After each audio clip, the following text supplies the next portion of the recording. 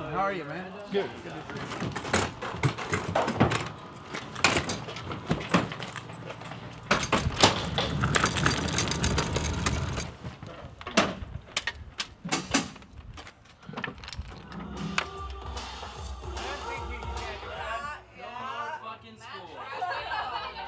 I'm glad you graduated because we all flunked out.